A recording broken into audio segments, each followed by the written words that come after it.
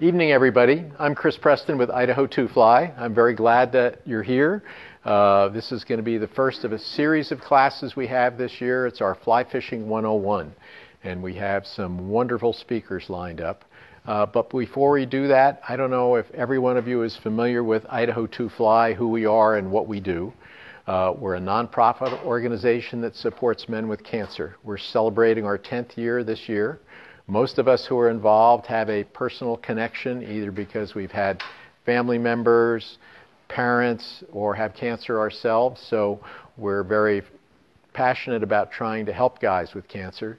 The Valley has really great medical care if you happen to be a man with cancer, but they don't always do a lot for the emotional side of things. And we've realized that uh, Idaho 2 Fly was started by a group of fly fishermen that said if you got guys out of town and away from their everyday cares and woes and really put them with a group of other guys in the same boat, it became a really good healing experience. Many guys don't like talking about their cancer experience. Um, a lot of it from the way we were raised. We're supposed to tough it out. And when all of a sudden you realize, hey, there are other guys who are going through the same experiences I am, it becomes a very positive experience. And I've been involved with Idaho 2 Fly. This will be my eighth year. I got in 2015, and it's just a very worthwhile group where we do a lot of good. The only thing you need to be to come to one of our retreats or any of our events is a man with cancer. Uh, you certainly don't have to fish.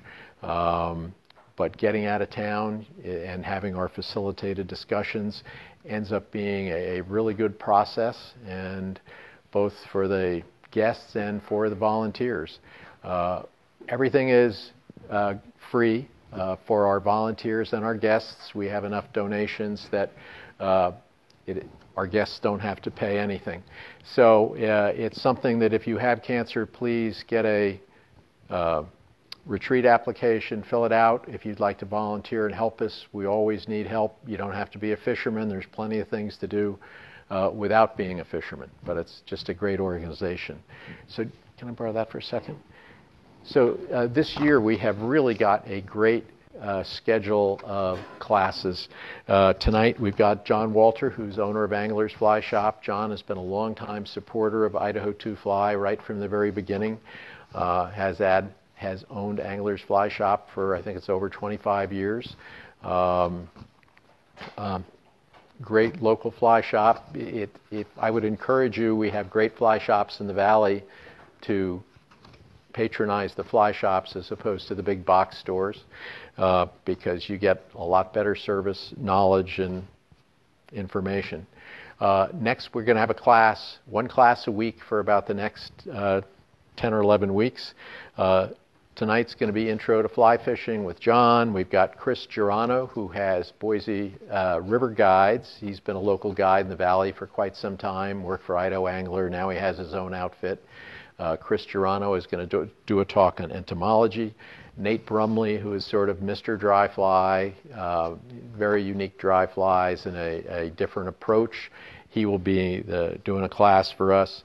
The guys at Three Rivers Ranch Fly Shop, uh, Three Rivers Ranch out of Ashton, they're big supporters of Idaho 2 Fly. Their guys at their uh, Eagle Shop are going to do a, a, show, a class on knots. Uh, knots are really important if you're going to be a fly fisherman, if you want to land anything. Uh, a guy named Tom Governale who works with Idaho Angler. He is a hell of a fisherman. He's going to do a great presentation on stillwater fishing, fishing for bass, crappie, bluegill, there's lots of opportunity, and it's really a lot of fun. Uh, being in southwest Idaho, you have opportunities to fish for so many different things. You're really lucky. Um, then uh, Jose Kari, who is a guide in the valley, he's going to do a new look at the Boise River.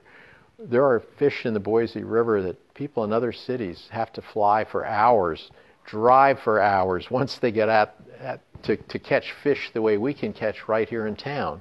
So if you're a newbie, it's a wonderful laboratory. You can go down and fish in the river. I mean, I've caught browns to 25 inches, caught rainbows over 20.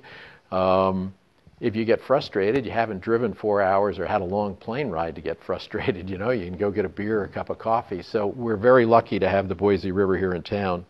Uh, Mike McLean lives in McCall. Uh, his specialty is fishing the high mountain lakes, which is a wonderful place to fish. There, um, we have so many lakes, certainly in the McCall area, but throughout Idaho. Uh, some of them are managed as trophy lakes, and it's a great opportunity there. Christian Reed, at the beginning of April, is going to do a show on how to fish with mouse patterns at night for big browns. And that is crazy exciting. I've done it with Christian. It's an immense amount of fun. Uh, and that, that's going to be a very interesting one. I will do one on European nymphing. I'm known as the grumpy old Eurotrash guy where I work. Uh, and I have taken it to an unhealthy level, John would tell you. Don Connor, who is a uh, split bamboo fly rod maker, is going to do just a general talk on equipment. Uh, and then our last class is going to be out at a city park, uh, probably uh, by South Junior High School, and that's going to be on actually fly casting. The nice part about our classes this year is that Becky uh, Lombardi is filming everything for us. So uh, every Thursday, we will broadcast the class from a week before. So if you can't make it to, to, a class, you can watch them on our Facebook page at your leisure, and you can watch them over and over, and we encourage you to do that because uh, I think it'd be really worthwhile. Uh, so tonight's lecture is John Wolter, Angler's Fly Shop. Here he is. Enjoy it. Great John. job. I have a feeling you could have kept going. Uh, great to be here, especially for the introductory class of it. It's kind of my forte on it. Um, if you're brand new, it's great because I can say anything, get away with it. If you're not, don't call me on it. Um, you can always pick up something. I've been doing this since I was 10 years old, and, and you can always learn something. I've got uh, a good bunch of kids in the shop, and and, and, Chris, and I feel like I'm kind of the weak link in the group. Uh, what they do and how many fish they catch and where they get to go uh, rivals what I'm doing right now. So you can always pick up stuff no matter how many years you've been doing this. So sit back, enjoy, and we'll kind of go through the whole element of it.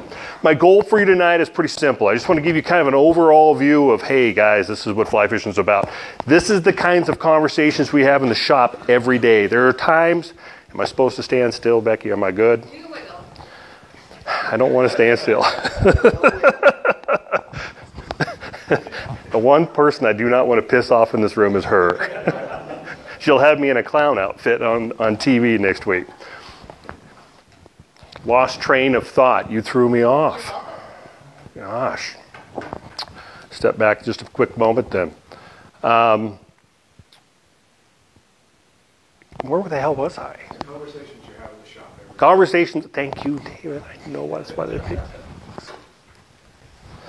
We do. We have conversations about this exact topic every day in the shop. And it really comes down to two things where am I going and what am I using?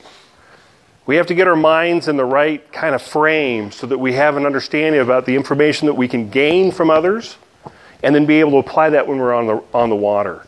Our goal is to get a lot of that stuff done ahead of time so that when you get down to these areas to fish, you already have a kind of a game plan to go with. And as the events, as Chris had mentioned, and all the, the, the, speakers are going to be coming in, they are going to take parts of what I'm talking about today, or what we are going to talk about today, and to apply that for wherever their, their topic is. There's a lot to this sport, but at the same time, it's a relatively simple game, right? It's not that complicated. There's just lots of little variables.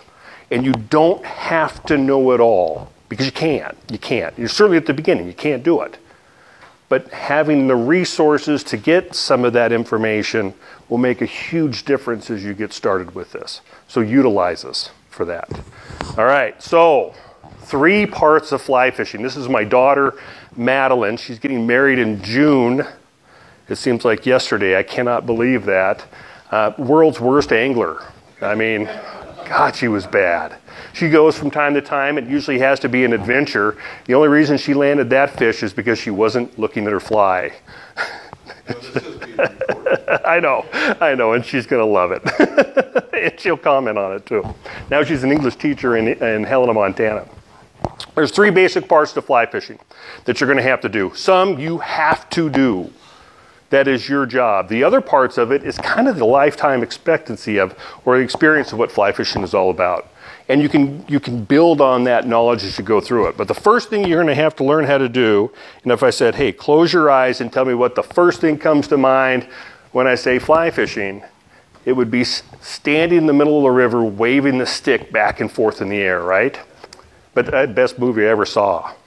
Believe it or not, that's the last movie I saw in a movie theater. I'm not much of a movie goer, but that was fantastic. I had fished many of those places. I was going to school at the time in Helena, Montana, and I was on the edge of my seat as I was watching these different places. Like, I've been there, I know where that's at. Fantastic area. You have to be able to learn how to cast. The last part of this, uh, this 101 thing will be grouped up. They, they brought me out again to do that, and I'll teach you how to do that. But this is your job. You have to do it. You have to be able to get that fly from where you're standing to where that fly is going to land, where those fish are going to be at. But that's only the first part of it. And you don't have to be good at it. A, a, a friend of mine who I fished with for years, 20 years fishing with him, he was the world's worst caster. Oh my God, he looked like he was having a seizure out there half the time. I bought a hard helmet. And I swear to God, bought a hard helmet for the drift boat because I got tired of getting slapped in the side of the head with his flies. Horrible caster. But what he lacked in his ability to, to make it look good, on a whim in a prairie, was able to get it to where it needed to be. But then the second part of it that really is the magic to it is being able to control that fly, and this is a lot easier said than done, being able to control that fly so that it doesn't act like it's attached to anything. And that's what you're being judged on. So the two parts of casting is going to be okay, can you get the fly to where it needs to be? And these are accurate tools. From 40 feet away, you'll be able to drop it in a small bucket. It's actually pretty easy. A little bit of time on that, no problem. But then the second part of it's going to be able to manage the line accordingly so that you're able to create the kind of drift you're looking for. And when you're casting across the river, slightly upstream, maybe a little bit downstream, you're going to have some slack in the line. And when you work with your with your if you go on any of these retreats and you work with a fishing buddy or if you go with a guide or you go with a friend, you're going to hear this term and it's just going to rattle in your ear. It's going to be all day. They're going to say mend. Mend. Mend the line, control the line when it's on the water. Mend the fly line. And that's going to be something that's going to take a little bit of time getting used to, being able to manipulate that line on the current so that you're able to create the kind of drift you're looking for. And if you can do that, success. The beautiful thing about this is that you may not hit your target the first time. The beautiful thing about this is you may not be able to mend that fly perfectly the first time you make that first cast over that fish. But this is in golf. This is fly fishing, so you can make another cast up there. You can spend as much time you, as you need working that water efficiently so that you can get the kind of drift you're looking for. And in time, the more you do it, the easier it'll become. All right? This is your job. We can give you lessons. You can work with friends. You can go out and practice. All good. The more time you spend behind that fly rod, the easier it's going to become. But this is something that I can't do for you. You have to do for yourself right? And the more time you put into it, the easier it becomes. Piece of cake, right? Learning to cast. And you see, okay? Okay. Yep.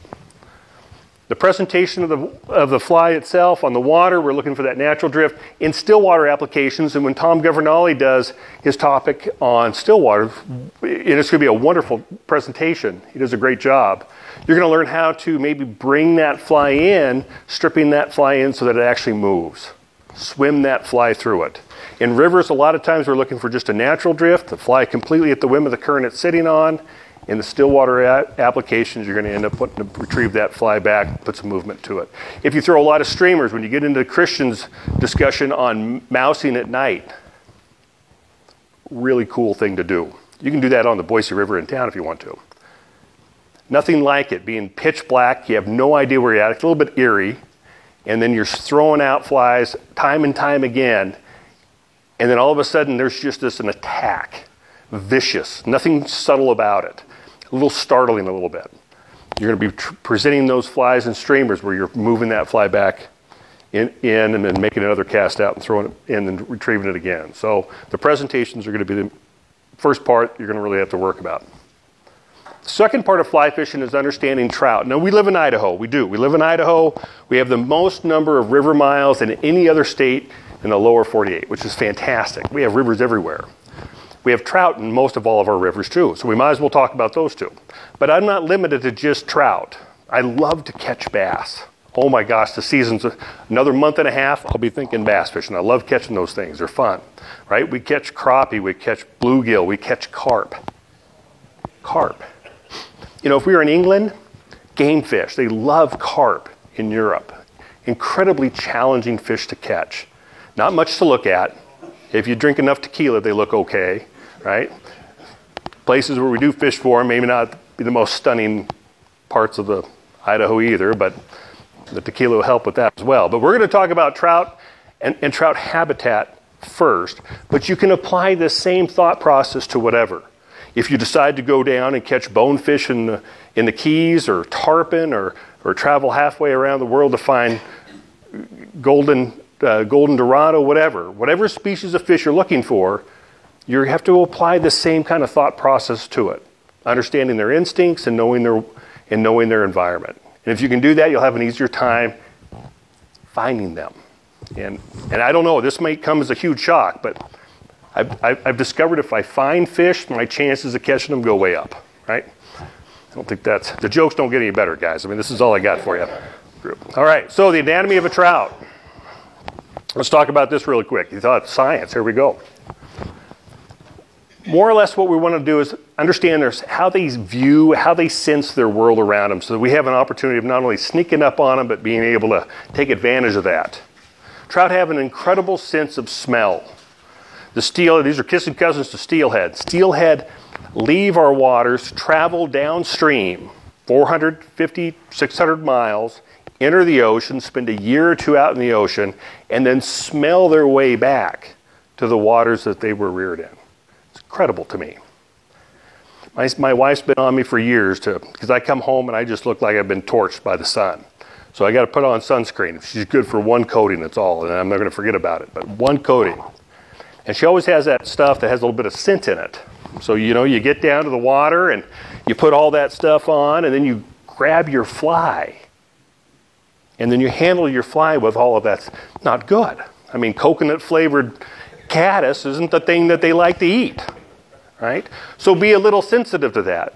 Maybe go down to the water before you handle the fly. Reach down, grab some of that sand, wet sand, and get that, get that scent off the palm of your hands. Then you can handle your flies. When we want to enter the water, gosh, fish are incredibly aware of the environment they're in, acutely aware of where they're at. And anything that enters their water, they're aware of it. Trust me, they're aware of it. This lateral line across the side of the fish, boy, when you make that first step into the water, you've just sent out a shock wave. And whether it's upstream or downstream, it's going to get there. And they know immediately something has entered into their area and from a fair distance away. So when we enter the water, do we just go charging in and making all sorts of commotions? No. No, we don't want to do that. We want to move very slowly, taking our time, and then maybe taking a few moments when we get into a place just to let things settle down. Beautiful thing about trout, they don't have very much, they don't have very long memory. So as long as you settle back down, we're going to be in good shape. But you want to move in the environment very quietly. Speaking, we have, I've had many questions on this. Uh, fish can't hear, right? No ears. Vibrations hitting, no, probably not with the voice. But if you're loud outside the water, you're going to be loud in the water. So it's kind of a quiet sport too. Keep your voice down, move slowly, and you'll have an easier time sneaking up on these guys. And we're not all very good casters yet, so we got to get pretty close to them too. So again, the jokes aren't very good, but we want to take our time working through and get into the water in a manner which makes it easy for them not to spook them. All right? So, uh, lateral line, um, their eyesight. Um, this is really what we're taking full advantage of. We want them to see our fly. We want them to be able to recognize um, uh, what we're offering them as a food source, but we don't want them to see us either. And so we have to approach typically from behind. Most of the time, fish are specific, these trout are specifically built for rivers or a torpedo shape. They're designed to be in rivers, and if you think about it, they have to spend their entire life facing upstream. So they're very efficient at being able to do that. They have one blind spot, and that's from behind them. So whenever you're working fish, especially if they're close to the surface, if they're rising at all, you want to spend your time working up towards them upstream as opposed to downstream. Now, there's going to be some advantages, maybe getting into positions where you can cast across from them or slightly downstream to them, but you still want to take advantage if you're not quite sure where they're at, moving upstream so that you can work the water in an effective way in which you're not going to be able to see. I think I've got a little uh, another photo of that as well that I can give you some other insights to it. Um, the last little tidbit I'm going to mention has to do with uh, the slime on the outside of their of their, uh, their body. That slime is a mucus, and it's designed, that's their immune system, more or less. Fly fishing, we have a tendency of practice a lot of catch and release. I'm good with that. You're going to be so good at being able to catch fish, you're not going to be able to eat them all anyways. You might as well start letting some of them go. I don't want to leave you with any impression that it's wrong to harvest a few fish from time to time. There's nothing wrong with that. I love to catch brook trout. I love to eat brook trout. Idaho Fish and Game's trying to eradicate them. There's plenty of places where I've been trying to grow some bigger brook trout, so we've been harvesting quite a few of them out of there. Um, and if you want those spots, I can certainly give them to you. But um, when you're handling fish to catch and release, we have to be a little bit sensitive to that, to that immune system. So we want to get our hands wet before we handle fish. We want to use nets that are going to be a little bit more or a little easier on that. If you remove that slime, or you remove some of the scales, they'll have an easier, they'll, they'll catch viruses just like we do, and we'll end up losing some of those. And we can actually see some of the scar marks that take place on some of our waterways that fish have been handled poorly. Um, hero shots, we've talked about that a little bit in the shop as well. There's a real push right now not to lift that photograph up and, and take a picture of it, but uh, boy, I want to see those fish, right? So you may not take a fish of every picture of every fish you catch, but if it's your first one or if it's a memorable one, feel real comfortable getting that hero shot. Try to get the cameraman settled and set first, and then you can kind of just pick them up, smile, make sure you smile for the camera. So many times I see this deer in the headlight look. Right, there was this huge brown caught at, God bless it, world record. White River in Arkansas. That's where all the big browns have been catching, coming from. I don't know how big it was. 30 some pounds. You see a picture of that, Chris? Massive fish. The guy he was with, thumbs up, big smile, jazz for him. The guy holding the fish caught it, just deer it. Remember, put a smile on, right? If you're sensitive about where you're fishing and you don't want anybody to find that spot, you may want to black out the background or be sensitive to that. If there's a bridge or some kind of feature, the guys in the shop, when people come in and they're showing pictures, they're not looking at the fish, they're looking at the background. And the next thing you know, they're online trying to figure out where those guys are at. So, anyway, that's another element to it that you have to be sensitive to that. Uh, adipose fins come up from time to time as well. We're, you know, we're getting ready for a, a great steelhead run, and maybe you have an opportunity to go up to, to uh, some of our, our waterways and salmon and Clearwater. That adipose fin, the Fish and Game will remove that. It's not necessary, and that's a way of indicating if it's a hatchery fish or if it's a wild fish. So if you want to harvest a steelhead, you want to harvest the ones that have that missing adipose fin. If you keep one with that adipose fin, it's a nice big find if you get caught. Okay? Anatomy of a trout. Trout habitat. It looks like I don't have that other thing of the the site, so I'm going to touch on this really quick. I thought I had one more slide in there. The eyesight itself also, trout Trout have an ability to see outside the watery world, and we refer to that as their window. Everything that's in front of or slightly behind that window, what they're going to see is a reflection of what's under the water. The window mirror theory, if you will. I've asked many people this, and nobody ever answers me. I'm not sure if they've ever done it, but have you've ever been in a swimming pool and you've you've gone down to the bottom and you've you've plugged your nose and you look up, you'll you can see that as well directly right over above you, you'll be able to see outside the water. It'll be distorted depending on how deep you go and how many waves are on the surface, but you'll still be able to see outside the water. Everything to the sides are going to be reflections of that. The deeper down fish go, the more they're able to see. It's a cone of vision. So the deeper down they go, the more that wind, the more they're going to be able to see outside the water. Yep. As they get closer to the surface, they get to see clearer, but they're going to see less of it. And I think this is something that comes into play when you see fish rising on the surface. How we approach them is entirely different from the way we approach fish that are on the bottom. When they're on the bottom, they are in their element. And it's difficult to appreciate this, but there are times when I've worked waterways and I've literally seen fish right off my rod tip. They're right on the bottom, and they really could care less about me. I've been on the South Fork of the Boise many times fishing in the, in the winter months where you just spend a lot of time nymphing. You got to be real thorough about how you do that. And I'll look down at my feet and I'll have whitefish at my feet. They're using me as a current break.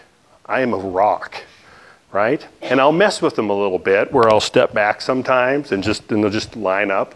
And then sometimes you want to fish for them, but it's a hard cast. You, know, quick, you do that. But anyway, when they're on the bottom, they're extremely comfortable in their area. And I think the instincts tells them that as well, right? I mean, fish can't, birds of prey can't get to them very easily, but as soon as they come up to the surface, it's an entirely different gig. So how you approach rising fish are going to be much more sensitive to their, uh, to their environment than they, they were if they're on the bottom. All right? And that all has to do with eyesight as well. There was a number of years ago, I was fishing the, the South Fork of the Boise. I spent a lot of time down on the South Fork. It's one of my favorite fisheries. And I'm working up this, this gravel, this, this uh, boulder run, and just kind of picking my way through, and all these little seams and, and little areas where fish might be holding. And, and I walk around this little bush, and this fish comes off the bottom and, and just takes this mayfly right off the surface. It, it, it, was, it was from here to the camera. It was right off my rod tip. And I was really being careful walking up, so he had no clue I was there. God, I, I just, I remember this fish so vividly. I wish I was there right now. And, he, and I watched him for about 10 minutes, and he, it was a pink Albert hatch. You're going to learn how to, all these mayflies and stuff next week with Chris Geronimo. We'll touch on it today. And every little mayfly that came over, he just come up off the bottom and gloop, take it and go down. And, oh, there's one over there and grab it. And I watched him for about 10 minutes before I finally put my, my cast in there. And I just watched them come right off the bottom and suck mine right off the and if that doesn't do for it, guys, I don't know. I mean, there's golf, there's tennis, there's bocce ball, whatever. I mean, th- to me, that's the essence of the whole thing, is being able to understand that dynamics that take place with it. All caused by just walking upstream and taking advantage of it. Okay, so trout and trout habitat. This is going to be the second part of this. Understanding a lot about where to find fish. I'd like to tell you that fish use the rivers, the river corridor equally, but they don't. They're looking for very specific places where they want to rest, where they want to hold, where they want to find a feeding lane. And there's a lot of that river that really isn't all that productive. Have we all walked the green belt on the Boise River? Yeah, everybody's done that. And we've all walked across the bridges. Who here hasn't looked over to see if there's any fish? Right? Everybody does that. You ever see any fish? No. No. Boise River, there's no fish. Right? You can tell that by just looking over the bridges. No, it's a fantastic fishery. It's Just what Chris was mentioning, it's a spectacular fishery. If you took the Boise River just the way it is, you just picked it up and you moved it to the east coast, all the floaters with them, because I'm tired of seeing the float. No, all the floaters with them. People would go all over the east coast to go fish the Boise River. It's in our backyard. The largest brown trout that I know of that's been caught in this area was in the Boise River. It was in 1991. And in this group, maybe not you, that wasn't that long ago, right? That was yesterday. Right, Becky? No, not a chance. Yeah, half an hour ago. Right? It was a 23 pound brown trout. Well, that must have been down by Star, somewhere way away from here. No, it was right in the heart of town. He caught it just upstream of, of, the, of the bridge that that connects Boise State and, and Julia Davis Park. He saw it from the bridge. It was a big female in there.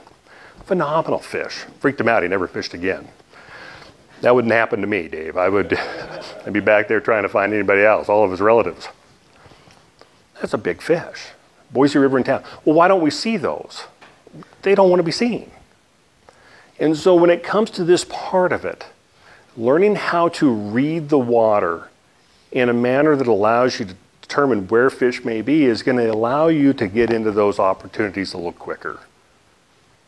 I should have been dead a long time ago. I should have. Because when I get on the road and I start driving up the middle fork of the Boise, I'm never looking at the road.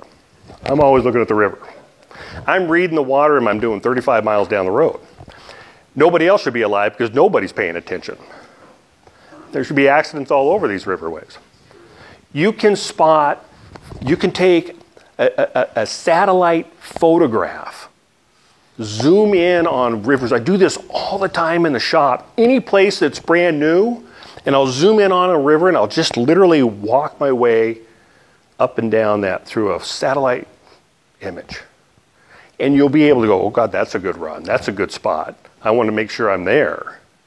So just little clues will help you decipher where you should find fish. And there's just a few of them that we're going to go through. So all of these places are within a couple hour, hour and a half drive of Boise, the middle fork of the Boise, the Owyhee River, South Fork, that's a middle fork fish. They do get chunky up on the middle fork. I love the middle fork. God, I hate the road. Everybody been up to Middle Fork before? Drive up to Arrow Rock Road? It's a tough road around Arrow Rock Reservoir.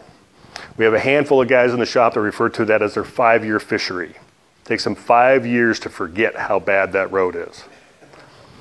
I like to think of the Middle Fork as a little slice of heaven. And in order to go to get to heaven, you've got to go through the Middle Fork Road, right? It is. It's just horrible. It's just, Atlanta last year finally said, I think it was during COVID because everybody was out camping. Atlanta, there's this little community on the very up part. I mean, there were what, 20 people there? And they finally said, enough. This road is so bad. You got to grade it more than once a year. So they started doing it twice a year. It's like a freeway. Anyway, all within an hour and a half drive. God, we're so lucky to live where we live. I mean, it's, it's pretty incredible. Let's talk about some of the different types of rivers. Just give you an overview of it. Uh, Boise River, is that the only topic we've got? Is the Boise River from Jose? Okay, so this, this will fit one of them, but uh, no matter what, and then Christian's going to talk mousing, so I know he's going to talk uh, Silver Creek. And that's a different type of river. So we've got a handful of types of rivers. This is, this is in Montana. This is uh, in Livingston. I spent a lot of time up there when I should have been studying fishing. Um, that, my parents made a wrong choice sending me to Montana to go to school. Um, maybe a right choice. So there's three different types of, of, of rivers that you're going to find in, in, in, this area. Spring Creeks is the first one, and, and we've got the, a world famous Spring Creek, two and a half hours away from where we stand. And you can make it under two hours if you're late for the hatch. Every police officer understands that. Just drive real fast. I've made it under two, probably shouldn't do that. This is a world famous, world famous fishery world famous fishery. I've seen license plates from New York and Vermont there that have driven over to fish that. Um, one year I was over there and I saw a license plate from Hawaii. Uh, apparently somebody from Sun Valley didn't want to have to rent a car.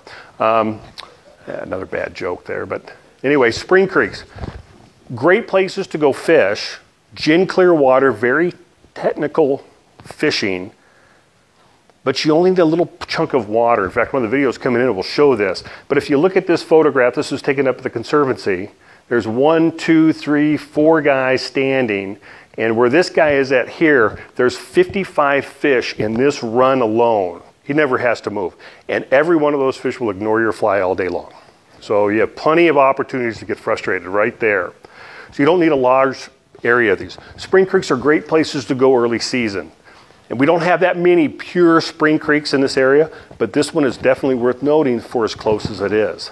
Another style of river, and this is what makes up the bulk of the riverways that we have in Idaho, are freestone rivers. And these riverways, freestone, freestone, these riverways change a lot. Freestones, there's going to be a lot of movement around to those things.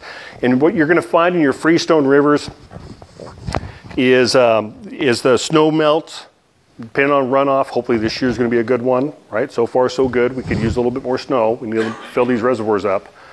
Um, that heavy, those heavy flows will affect how this fishes throughout the course of the year. When it's really high and swollen and chocolate, we're not on those waters. There's going to be a definite season when we need to be on there. And this is one of the topics that we have in the shop a ton understanding the waters that you're going to and what those flows are like so that when you go, you have an opportunity of fishing. Sometimes it's not good, other times they are good. And it all based on how much water is coming down and what those temperatures are going to be like. So you're going to see a lot of fluctuations on our freestone rivers. And then the last type of waterway that you're going to hear about are tailwaters. And this is a cross between a, a spring creek and a, and, a, and, a, and a freestone, really, and it's man made. This is Anderson Ranch Dam. We built a big dam there. It's 300 feet tall. They're going to expand it. They're actually going to set it up another seven feet, and by doing seven feet, they're going to increase the storage capacity by 10%, which is phenomenally to me. And I think there's even discussions of bringing it up even a little bit further. The idea behind a spring creek is that those temperatures are, those flows are regulated in a manner which is very consistent. And consistent flows create a consistent environment for those fish to be able to hold in. We have two wonderful tailwater fisheries close to Boise. The South Fork of the Boise is one, and then the Owyhee River in Oregon is another one. We're all kind of hoping that we get the Greater Idaho Initiative taking place so we don't have to buy that Oregon license. Yeah. I mean, Kelly, I would be good if they just did it to the Owyhee Reservoir, but, but I mean, if we have to take it all, we'll take it all. But, you know, that Oregon license is a little bit formidable, but, but spend, that, spend that money because it's an incredible fishery and it's actually starting to fish right now. Um, these tailwaters are going to be places where you're going to hear a lot about as well.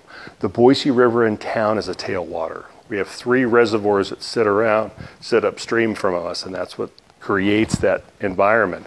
And the flows are very regulated, the temperatures are very consistent, and that's why we have such great fishing opportunities. Three types of rivers. Why we bring this up? Why do I bring this into an introductory class?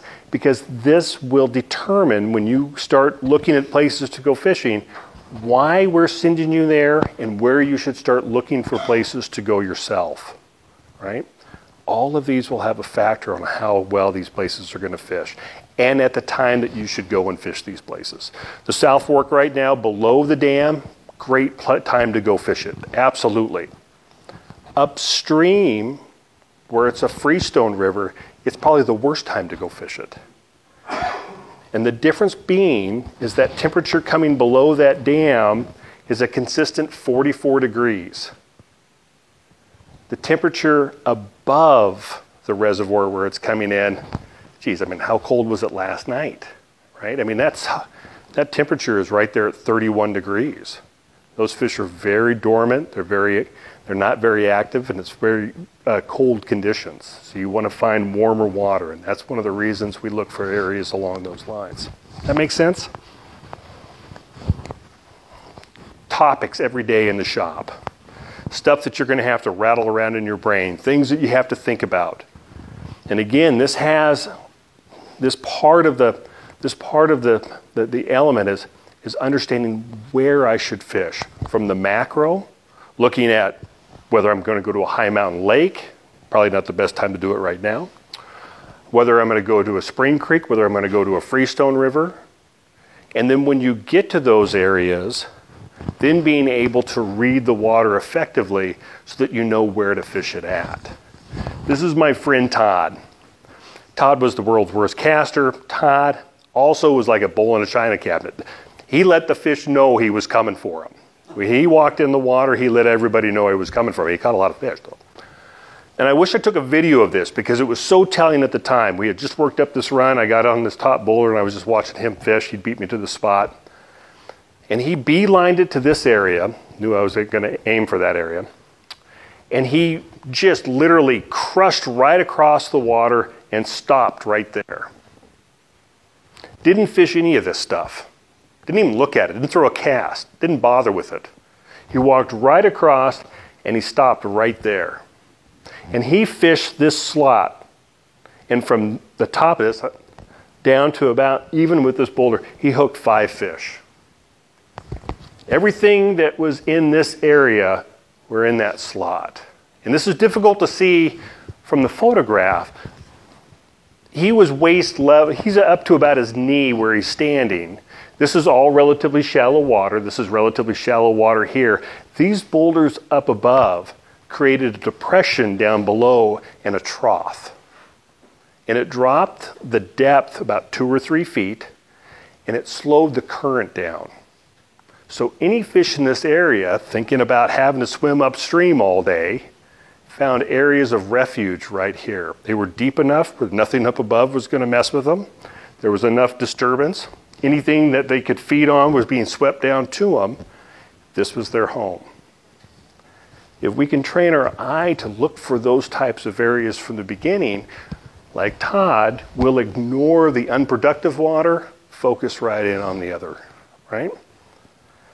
That's the key to this game finding where fish are at and getting to their depth. We're just going to do a real brief run of this stuff so you just have some terminology. And we'll probably, we all know what a riffle is, right? Have we heard that term before? A riffle and a run and a pool in some of these areas. There's some other things going on that we kind of talk about and what we look for. When we think of a riffle, we're looking at relatively shallow water that's bubbly. Sometimes those riffles could be no more than six to eight inches deep. Any fish going to be holding in that? Unlikely. Unlikely. But it's incredibly important.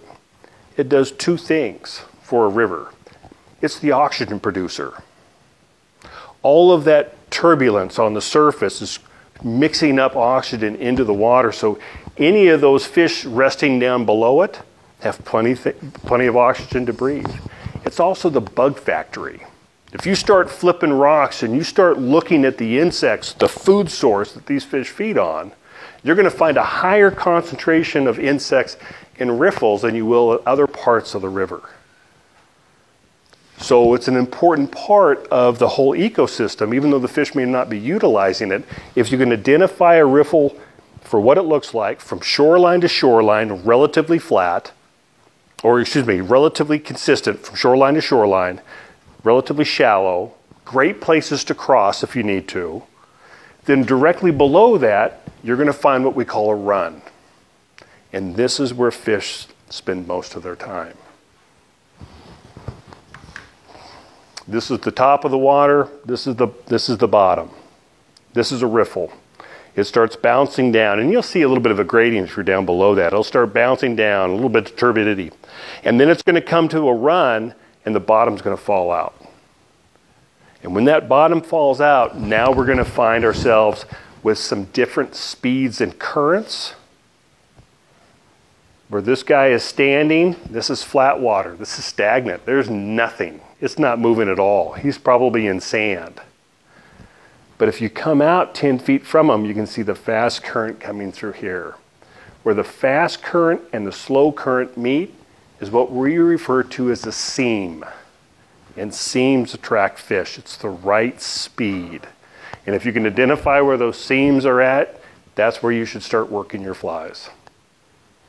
All right? You can see a run very clearly. And just start when you're driving around the Boise, Boise and you're down along the river, if you walk the river, you can start to see those runs. They just stand right out for you, right? Easy runs to see where fast water and slow water meet. There's your seam. The depth is going to fall out, and that's where fish are going to be holding at. Your riffles are going to be relatively shallow. Riffle runs, riffle runs, riffle runs. That's typically the way it goes. We occasionally get into some pools where it's deep, slow water. We're not going to worry too much about that. This is where the magic takes place. In still water habitat, and I'm going to let um, Tom do more of this than certainly I am, but one of the things that I think about Stillwater, and I like this photograph, this first slide. When you think about Stillwater for trout, look at how beefy these fish are, right? A little more mass to them. Look at those rainbow fish that were those rainbows we catch out of the rivers. They're, they're a little more slender. They've had to work for it a little bit more. Not these Stillwater fish. You get into an area that has an abundant food source for them, and all they have to do is just lounge around and feed and get big. I like Stillwater opportunities, right? And that, that's coming up right around the corner. We're going to be down at Duck Valley Reservation, Reservation before we know it. And that's where some of these photos came from. Big, nasty fish. It's a wonderful thing. In stillwater applications, finding and reading water becomes a little bit tricky. You know what takes the, takes the, the, the real mystery out of it is called a fish finder. I used to thought it was cheating, but uh, I've kind of found out that it's a pretty good source of information there. So I've got one. I would encourage you to get one too if you're going to do this. but you can look at some clues as well. And feed weed, li- weed lines and drop offs are, are real good indications where fish like to mingle back and forth. Think about trout in still water like a great white shark looking for a seal. They're going to find areas where there's a high concentration of their food. They're going to kind of move slowly and in an ambush go up and feed them. So any of these drop offs, shoals, weed lines are going to have an opportunity for fish to kind of congregate in on. Tom Governale is going to fill in a lot of this with, um, with his discussions on areas to fish, although it's going to be heavily vested probably in this warm water game of crappie and bluegill and bass, but um, he still knows a ton. And then on the river aspects, when you talk to when Jose gives his talk, he'll fill in a lot of that those other aspects on reading water and places to fish as well. All right, but those are things that we look at in the stillwater applications. All right. So the, the, the, first topic of conversation is being able to get our fly to where fish are at. The second topic of conversation is really where should I cast my fly? The, the third part of it is, is, is what, what we use. And, and, and this is really what this is really what defines what fly fishing is all about. I get really excited about this topic we get a little bit nerdy, a little bit geeky when we start talking about insects. We become entomologists. That's next week's class. But I relate the insects themselves to the experience of, of, of my opportunities of catching fish. And so it, it really blends itself very into it where you get interested. And that's what we want to do. We want to really get interested in what this is. This shot was taken on the Owyhee River. This was about an 18, 19 inch big brown trout and he was sticking his beak out of the water, sucking down something called a mahogany dun. And it's, it's a far away and it's a little blurry, but that's a, that's a mahogany dun right there. And there's a mahogany dun right there. And then there's another mahogany dun over here. And this is an area about this big. And that fish would swim around. He had a little bit of a circle. There wasn't much current going on. So he would just swim and he would stick his beak out of the water and he would pluck a mahogany dun off the surface like he was eating an apple, taking it from the tree. And he'd swim over and he'd do that. And I watched for about 10 minutes and finally took this picture. And then I finally threw my mahogany dun and it landed somewhere in the eh, vicinity of this. And I just waited. And I could just see him moving around and he finally got to my mahogany dun and he sucked it right off the film. And I thought that was cool as heck. I mean, that's what we're trying to do. The essence of this sport, and this is where it becomes a little bit different, you know, catching fish. I mean, gosh, if you want to catch fish, I don't know fly fishing is the most efficient. You know, nets work great. You know, explosives, piece of cake. I mean, that's a good way to do it. I don't know about power bait, but apparently that works pretty well. But in, in fly fishing, and this is the line in the sand that really takes place, I mean, we're understanding why. I knew exactly why that fish took my fly. I have no clue why fish eat garlic flavored marshmallows. I mean, I just don't know where that came from. They do, but but I can't answer why. This I can answer. This is the line in the sand, guys. This is the, the essence of what it's all about and it's an old sport. How old do you think fly fishing is? When's the first? When was the first person? Eh, maybe not the first person to fly. When was the first writings of somebody fly fishing? What what century? That helps a little bit. Anybody take a shot? 18. Yeah, know, a little earlier than that. 16. 16. Fifth century. Eight. Yep. Fifth century AD. And it was this group in in, in former Macedonia. And for, you should be pulling out the cots and the beds by now. Former Macedonia, for, or, or, Macedonia, former Yugoslavia. My wife is from that region, and actually I've fished quite a bit of that. I haven't been in Macedonia yet, but I feel like I'm stepping back in time when I'm when I'm doing that over there. Spectacular country for it. But this this group was this group were, were, being talked about by a Roman philosopher, and, and they were catching fish with, with a fly. They didn't have graphite fly rods. They, they didn't have monofilament fly lines, monofilament leaders. There, there was no machine reels, right? They didn't have waders, but they were fly fishing. And the essence of it is that he created a fly that would imitate an aquatic moth. We call it a caddis, an aquatic moth. That's what started the gig. That's what sent us down this path. It's an, it's an interesting way. And it, what, the, what they were talking about in, in, the writings were these fish would come up and feed. I mean, they were down there harvesting fish. They, they, were, they were harvesting fish to eat. And, and these, these fish were rising to a caddis on the surface. And they built a fly to imitate that. My gut tells me the first thing they tried to do was actually attach the caddis to the hook, right? And they didn't call them a hook back then, they called them angles. They were just a sharp piece of iron that was an angle. And people who use those are referred to as, that's where it came from, right? Name the shop right there. I read that, I'm like, that's my name. Okay, anyway. So they created that. They, they, probably did. I mean, have we ever threaded a grasshopper on a hook? Right? I mean, that would have been an easy one to do, but they couldn't do it. It was too fragile. So they used wool. They were using wool to make their clothes. They used wool yarn and, and a couple of chicken feathers and just a really simple pattern. And it worked. The fish fooled by that. And so that's where it's simple, right? I mean, we can all appreciate that. Put bug, fish eat bug, imitate bug, fish eat bug, right? I mean, that's we can we can make that. There's just a lot of variables to it. So this is the slippery slope you're going to go down. You're going to get yourself in a position where you may be on the water and, you, and you'll find fish rising. And, and, you'll open up your fly box and you'll start trying different things. And oh my God, this happens, I'm telling you. And they'll come up and sometimes they'll look at your fly and go, No, I'm not going to eat that. Drives me nuts. I take offense to that. I've done my homework. They haven't eaten my fly, right? And you're going to get to the point where that's going to either do two things to you. You're going to say, freaking fly fishing, for, forget this, go find a, another fish to go get, or that is going to just sit on you. We had a guy, God, this was a number of years ago, came in the shop. I've never seen him since, and this was probably 20 years ago. I think he was an out of towner. But it, it, yeah, it was the first fly shop that he came to. He walked in, his, he was wearing neoprene waders, his, he had felt boots. His boots were still wet. I saw the footprints coming in. He, he, comes up to, he comes up to the counter, he opens up a fly book, goes, What the hell is this? And he had about four or five PMDs, a, a mayfly. And I said, Well, they're these.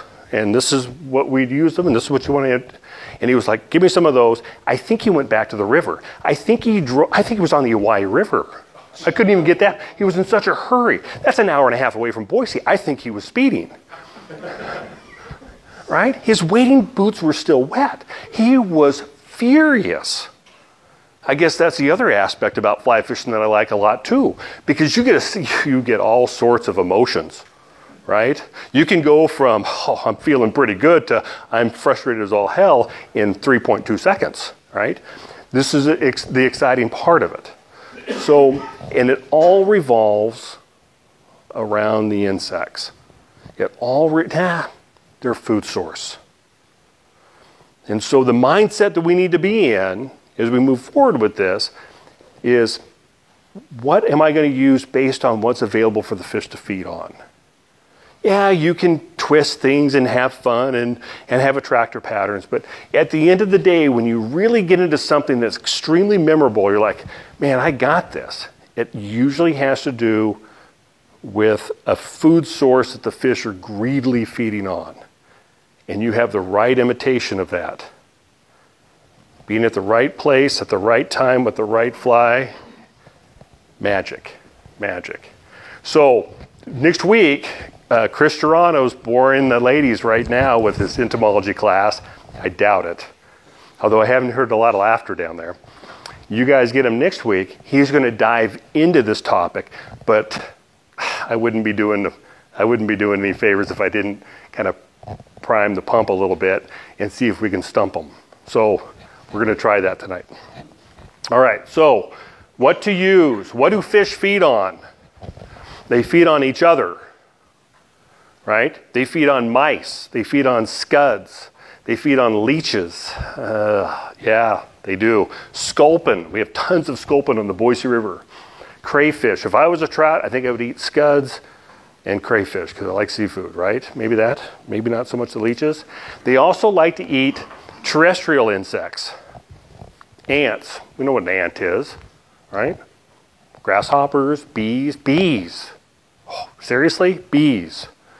I don't know how many years ago this was, but one of my uh, one of my employees, Ryan Spillers, was over on the Owyhee River and he, he noticed that somebody had dumped a handful of beehives along the corridor. There's probably four or five clumps of beehives up there. And so he was down fishing and he, he saw a fish come up and eat a bee. So he came back to the shop and he tied his signature fly, the bumblebutt, and a bee pattern. And we slam fished that year on that. Incredible. He sold the pattern to Umpqua, and I think he gets royalty checks of around 500 to 1,000 bucks a year on the bumblebutt. So if whatever you're doing isn't paying off, become a fly designer. Apparently that pays. I haven't made it work, but it worked for Ryan. But they'll eat them. But the, the, the note of that is that he, he noticed something that most people didn't. Tied something to represent it and then that, I'm telling you, that summer we just trashed them. We were making our own bodies. We couldn't get enough of them. It was incredible. We tie a lot of flies in the shop. I could give a rip about the, the, the, the life cycle of a beetle. I just don't care. Ask me, don't care. I don't care what it does. It's a terrestrial insect. Fish are not leaving the water to eat on a grub, a, a beetle grub. The only thing they're going to be interested in is if that beetle's in the willows and the wind knocks it into the water, then they'll eat it. That's when I care. I'm only interested in the terrestrial insects as they're adult when they're available to the trout, right? But we also have a handful of aquatic insects, and this is really what makes up the bulk of the trout's diet. And it's, it's these five insects, and really it's really four insects. I, I add damsels be, because damsels eat mosquitoes and I hate mosquitoes, so they determine they deserve a place on my slideshow. Uh, fish eat them too, but they eat a lot more mosquitoes than fish eat them. But these, you're going to need to make physical, make a mental imprint of these. This is what's going to be talked about next week. And, and, and recognize that these are the adult of these various insects, but there's a, there's an entire lifespan underneath the water. These are aquatic insects. They spend most of their time underneath the water, and the fish will feed on them throughout the course of the year when they become available. And that hatch that takes place, you're going to see an incredible array of, of fly patterns that we tie to imitate that entire process. And you'll have to have a portion of that, or at least an understanding of that, what goes on with those hatches, that you're able to take advantage of those opportunities when they come up. All right? That makes sense? So, king, aquatic moth, caddis, right? It's a moth. You see a bunch of moths flying around? That's caddis. Stoneflies, uh, best described as a flying cockroach, right? Nasty looking things. Great bugs, fish dig them. About 1,900 species of stoneflies in the United States. We're only interested in about four or five of them. Most of them are small and insignificant, come off in the winter months. But there's a few of them that are real important to us. Midges, kissing cousin to a mosquito, but they don't bite us. Incredibly important food source for the trout, especially in the winter months. And the king of all kings when it comes to mayflies or, or, or aquatic insects are mayflies. Nothing looks like this. Looks like a sailboat an incredibly unique insect. For the, for the angler, the way the fish feed on these insects, the hatches that take place, the consistency of that, we love them. If you call the shop and you're like, hey, listen, John, I'm going to the, to, to the, to the South Fork, what's hatching right now? If there's a mayfly hatch, that's the first thing we're going to tell you about. We just learn to love that mayfly hatch, all right? So understand those, understand, take a mental imprint of those, and, and, and Chris Gerano next week is going to give you a much more detailed look of that. Um, but we can, um, we can, um, don't click on it just yet. We can kind of get started on that a little bit. Um, this is a, a trico spinnerfall. Tricos are a mayfly that, that hatch out and that hatch out actually at night. I'm a dedicated fly fisherman, but 2 o'clock in the morning, I'm not fishing Silver Creek. The insects hatch out, they go to the trees, they'll molt one more time, and then they're going to return to mate. The whole reason these insects hatch out to begin with is for propagation purposes only. And mayflies, they only live a couple of days. Stoneflies, caddis um, will live a little bit longer. Midges have a very short lifespan too, as well. So they come back, they'll mate, the females come down, they'll lay their eggs, and then they die. In this video, this is that last part of the mayfly cycle, which is they're going to lay eggs. I've been fishing this hatch since 1993 up at Silver Creek. It was one of the first big hatches that I've ever experienced. Vivid in my mind, loved it. And I've been trying to catch that hatch every year. I don't always make it up there, but just about every year I go up there and at least fish it once, if not multiple times. I've been fishing the same piece of water at the same time, the July, into July time frame for 25 years. I've caught generations of fish in these same runs. Every year, this hatch takes place so far. I, I, have it on my calendar, I've got it embedded in my mind. I can tell, I, maybe a sixth sense that have started to develop, I can tell when the hatch is just about ready to start based on the temperatures and what's going on around us. That's how consistent things are. That's a beautiful thing about these hatches, that's a beautiful thing about Mother Nature, is it repeats itself. And so once you start to experience these insects, you can bank on the fact that it'll probably take place next year. You can start to make a calendar of when these things take place. And I get nervous when the tricos start going and I can't get up there because I just know it's going to happen. So in this particular area, and I just love this. I'm there about 7 o'clock in the morning. It's beautiful up there. I just like to be there. The first insects don't show up to about 745. Once the sun is on the water on this particular run, you can go ahead and run that video. And these fish will move out of their holding water and into these feeding lanes. And this is 20 minutes, maybe a half hour before the first tricos even sit on the water. Then the insects show up. And then the fish start eating. And this takes place maybe two to three hours. And it will go for about a six week period of time with few exceptions. They get so focused on feeding that these are all fish rising this fish does a cartwheel over the top of them. Nobody stops feeding. They're like Joe's hook, keep eating, right? A magnificent area, small little stretch. This is that spring creek I was talking about. I never leave this little spot. This is all I need. There's a pile of fish going. And you have a two to three hour window where you'll see that take place. As soon as the wind starts to come up, and it's usually about 11 o'clock, the remainder of those tricos get blown off, and immediately the fish stop feeding, and you can see them moving from the feeding lane back into their holding lines where it's deeper along the edge.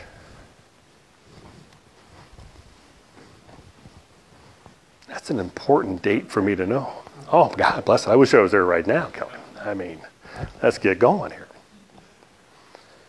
The essence of all of that is just really that you, you understanding when these take place, being at those at the right place at the right time to experience that type of an exper- that, that type of a hatch.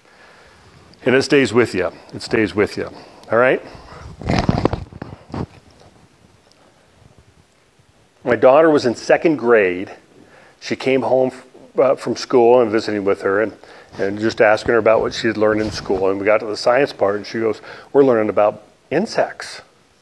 And she goes, You know, there's the incomplete life cycled insects and the complete life cycled insects. I just love this conversation. I said, Sweetheart, let's go look for them. So I ran down to the shop, got a pair of waders for her and I, and we went right down to the Boise. We started flipping rocks and we were pulling up nymphs and grubs and, and larvae and, and looking for adults. And my daughter, when, I was in, when she was in second grade, she was looking at her dad like, he's the smartest guy ever. He knows everything. And she realized when she was working on calculus in high school that dad wasn't as smart as he thought. so, uh, if a second grader can pick that, we got this, guys. And, and again, it's just a matter of understanding the life cycles and being able to identify them to some degree and, and, and then being able to recognize what you have in your fly box that may go back and correspond with what you have. And, and the trout are usually going to give you some benefits of the doubt on this. So this is going to just prime the pump for next week when Chris comes in and really dives into this. But we're going to divide it in two different categories, complete life cycled insects and, uh, and incomplete life cycled insects. Mayflies and stoneflies are incomplete life cycled insects. So eggs are dropped. For six months out of its life, we can't even see what that, that nymph looks like. They're referred to as instars, and with a naked eye, we can't even see them. Last six months, we'll be able to start to identify them, pick them up, and they're six legs, little nymphs. They're going to develop into an adult insect at the time, and they never change their look. They're going to remain that look. They're going to develop into a, the right insects. And when the, when the temperature is right, when the time of year is right, we good? When the time of year is right, they're going to leave their underwater world. A gas bubble builds underneath their exoskeleton, and that allows them some flotation so it can aid them. It also glistens in the water. And you'll notice that a lot of nymphs that we have in the fly shop will have a lot of sparkle to them. I think this is Mother Nature's way of telling dumb trout what to feed on. It's shiny, right? It blings a little bit. And then they'll come up to the surface. They're going to break out of their exoskeleton. And we refer to that as an emerger. And that emerging stage is everything to us. You ask uh, an entomologist who studies this stuff about this, he doesn't really care. I mean, he's more interested in how many are in there and, and the diversity of it, the intensities of these of the numbers. Mergers, that's what we live for. And not just one, but all of his buddies, right? And as those insects leave that underwater world they'll make their way up to the surface film, that's when fish become very engaged on feeding on them. They're going to they're to break out of their exoskeleton. Takes a little while. They're going to inflate their wings. They got to sit on the surface for just a little bit of time, and then they'll fly off. A day or two later, they'll be, have molted one more time. They'll come back, lay their eggs, and then they die. We refer to that second part of it as a spinner. The first part of it is a dun. Sub amigo, imago. Dun. right? By looking at the insects themselves, you're going to be able to determine what they are, and this is in live from the nymphs themselves to that emerging stage. I love that photograph, right? You can almost see that, that glistening, and you can also see the reflection up on top. That's that, that mirror kind of thing. This is when they're most vulnerable. Those insects will clump, and they have to break through that surface film. And it's a little challenging for these small bugs to do that. They'll eventually turn into an adun and then come back and lay their eggs and they'll go totally flat. That's the life cycle. That's the life cycle. And we've got names for these mayflies, the different kinds that are out there, like pale morning duns. When do you think those hatch out? Afternoon. No. Right? Pale morning duns. Blue winged olive. What color is that? Blue wing, olive body. March browns, I mean, that tells you when you should fish them, right? We do get a little bit of Latin in there. We do speak a little bit of Latin in the shop. Chris does all the time, but he, you know, he was around when they came up with the language. Um, God, that was low. Sorry, Chris, that was mean. You're going to edit that one out? Um, but you don't have to. But no Callibaetis, that's not too bad. Baetis, we, we talk about those a little bit. Right? You're going to hear all these names. You're going to hear them over and over and again. And when I, and my, my gut tells me that when you, when you, when you, when you, you get on the South Fork this, this year and you, and you see this epic Baetis hatch, these blue winged olives is the layman's term, you're going to remember that. That's going to stick with you because you're going to see tons of fish rise into them and you're going to see all of these insects, all these little sailboats on the water. And that's going to make a lasting imprint on it. And you're going to have that and you're going to duplicate that the following years too. Right? So that's that full mayfly cycle. Stoneflies. This we go from egg, we've got our nymph, but we don't see any kind of emerging pattern here. And stoneflies crawl out of the water lay, to, to break out of their exoskeleton. They said, the heck with that mid-emergence stuff, I'm not going to do it. I'm going to crawl out. And so they do. So the emergence actually takes place several weeks before the first insects start to show up as these insects are starting to crawl towards the shorelines.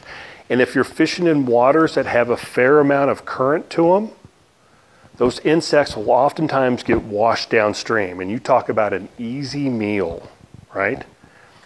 Some of the largest part of these stone flies are going to be up to a couple of inches long, maybe three inches long. Those are the big salmon flies.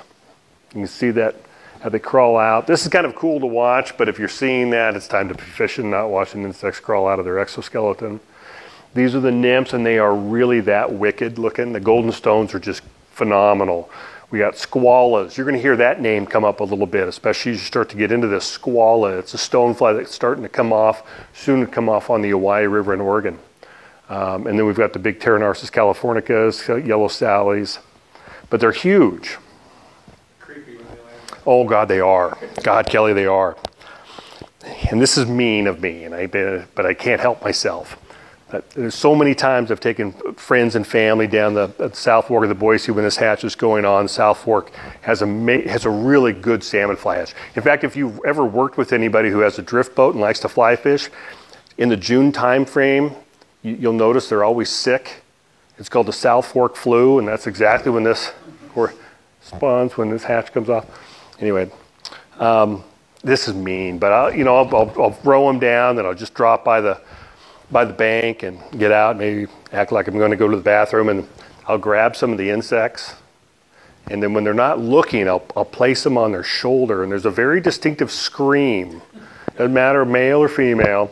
When it finally crawls over the, yeah, it's good stuff. You got to entertain yourself when you're rowing the boat. um, but an important insect for the, for, the, for, the, for the most part at very specific times of the year in specific locations. Not every place has got this. The, the stonefly population in the Boise River and town is pathetic. The Owyhee River, uh, a couple of them kind of. Places like the South Fork of the Boise, the Middle Fork, they have much better stonefly. So based on where you're at, you're going to end up having to need these or, or not, okay? Incomplete life cycle insects. Dams are, are an incomplete life cycled insect. I love this bug fearless. They're predators. They're feeding on when, when, when hatches are taking place and still they thrive in still water bodies. They're they're dragonflies, is what they're just dragonflies. They're they're incredible predators, and they're out feeding on other insects when other trout are feeding on those insects, and they start feeding on these other guys. When it's time for them to hatch, they just throw caution to wind. Heck with it, and they do this suicidal swim to the shoreline You'll see them if you're out there in a float tube and you're fishing a little bit. You're an island; they're going to they're going to hatch out on you, but you'll see them just swimming right underneath the surface, heading to the bank. Must be temperature that that drives them one direction or another. How many of them go the opposite direction and end up having to run out of energy before they get to the lake? And then they get to the shorelines, they'll crawl out, and that's where they'll hatch out. Fish gobble them. Birds gobble them. Those that make it will eat all the mosquitoes we need to. In the water, camouflage is what drives uh, what drives the colorations to it. So if if you and they sometimes can be just brilliant.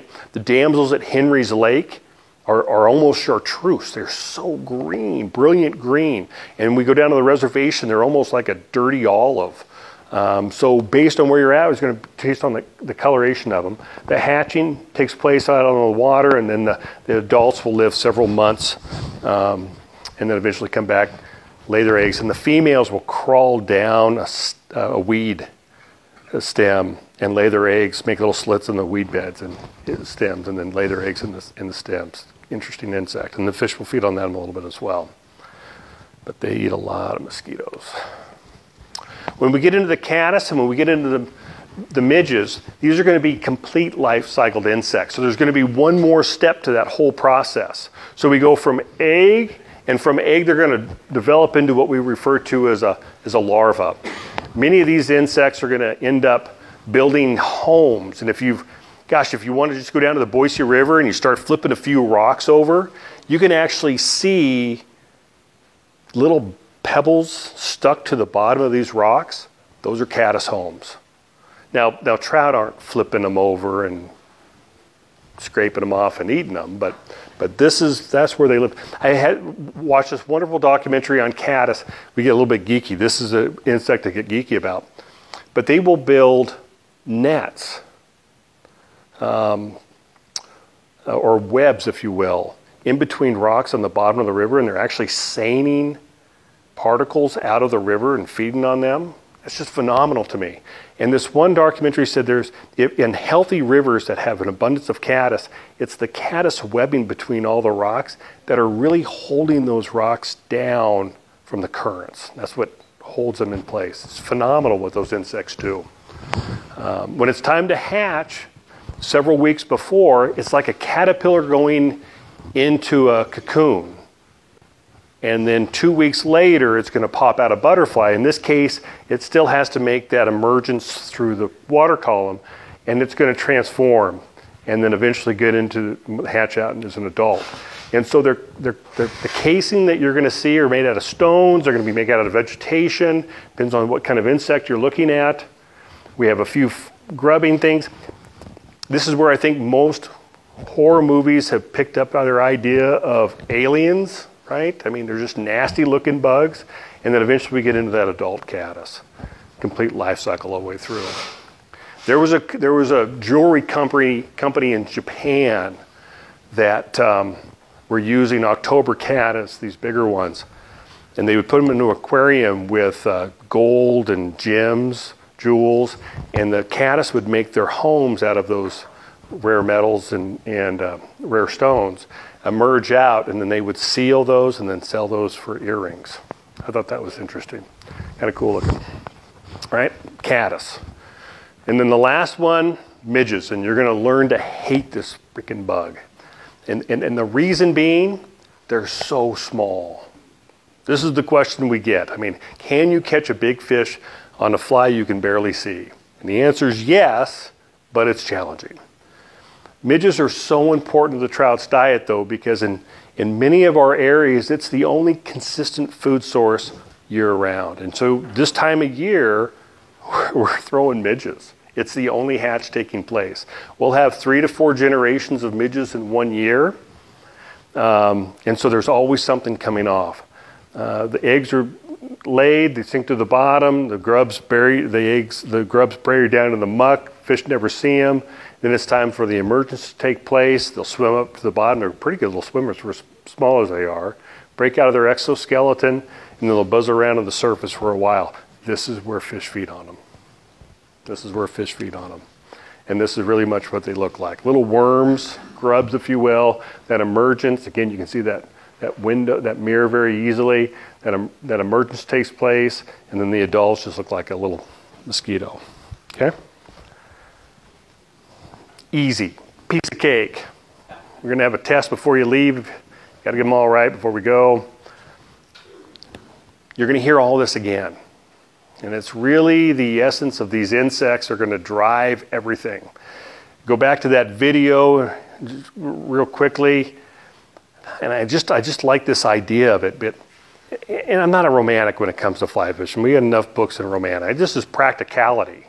But the one thing I like about that is I'm on the water 45 minutes before the first insect comes out of the trees. And I'm, I'm, I'm physically watching fish move from holding water to their feeding lane, waiting for the exact same insect. We're just all waiting around for that bug. They are completely ingrained to that food source. They've probably, the hatch took place a couple weeks before I got up there. They're completely tuned in to when that food, food source is going to be available to them. They're waiting. They know what's coming. For two weeks in a row, every morning, they've been able to feed on that bug. And when it comes to this part of it, being at the right place at the right time makes a big difference. And that video that did not show that, at the end of the day, about 11 o'clock, the wind came up, and I was hearing some voices coming up the river and um, a couple guys coming up, and they were carrying float tubes. And it's real common to float through that stretch of river with a float tube and then pick off fish. And uh, they walked by, and they were they were less than thrilled to see me. I was there because I think that's where they wanted to kind of zero in on. But wave, they walked upstream, and it just so happened that the wind started to come up at the time they just passed me, and you know all the insects were going, everything's going. So I took the camera grip down, knew where they were going to go, so I did the gentleman thing to do, and I walked downstream about 50 to 100 yards and crossed the river so I could stay away from what they were going to do. That's a polite thing to do. Got on the trail, and as I was walking back up, by the time I got to where I was fishing from the other side of the river, they were there, nymphing away. I'm sure they had a great day. Wave to them, good luck, guys, have a great time. And as I passed them, I'm just thinking, Really, was that extra cup of coffee that important? Right? I mean, did you have to stop for breakfast? I mean, they, they missed it. They, they missed that magical two hour, three hour window of this phenomenal feeding activity because they were worried about getting their gear up there or something. And I don't want you to, I don't want you to do that. I mean, this, this whole concept, when it comes to this part of it, is, is really trying to put yourself at the right place at the right time. We will help you any way we possibly can. You are not alone. I mean, God bless it. We're here. You got three great fly shops in town. Um, come in and see us, visit with us. If you have friends that you're fishing with, this is a topic of conversation to have before you go. Think of yourself slightly as detectives. And before the trip, not months before the trip, you can kind of get a sense, maybe a month before, but but few days before you go, start to gain that information. Make sure your fly box is in order. If you're brand new at it, you never walk into a fly shop without your fly box. Bring it in.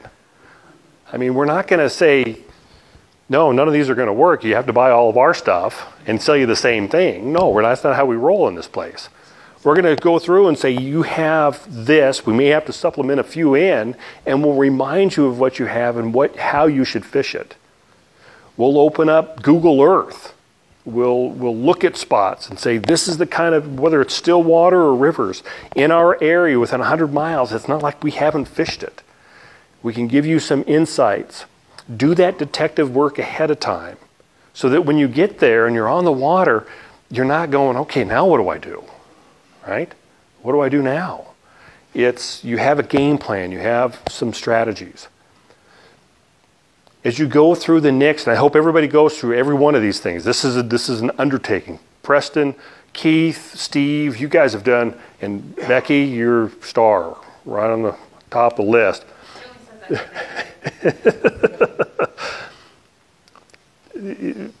this is an incredible source of information for the next few weeks. Take advantage of this. And everybody is going to approach this differently. And you're going to top every one of these topics, you're going to talk about it, whether it's high mountain lakes. He's just talking to you about the place to go. Macro look at it. McCall, all of these lakes that are available. These are the flies that you want to fish with. These are the times of year that you want to be on. That way you've got a good game plan. When you, when you think about doing this, you've got a little bit of a game plan. You know where to go and what to use. All right?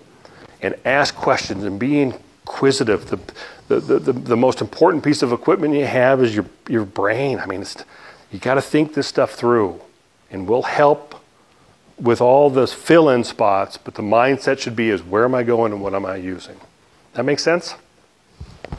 Just beat this in. I'm just going to beat this in. Okay. Uh, Don Connor's going to do the equipment thing. He may argue with this, but but I, I, I, do this for every one of my classes. Absolutely every one of my classes. Most important piece of equipment. I did this for, um, I did a little program for when my, my son was at, at, at school. We fished the kids down at, at, the Boise River, and I did this. And this is a major important. What's the most important piece of equipment? Chris Preston's going to take you fishing if you get it right. Boy. What? Oh, you've seen this. Oh, my foot. Oh, my foot.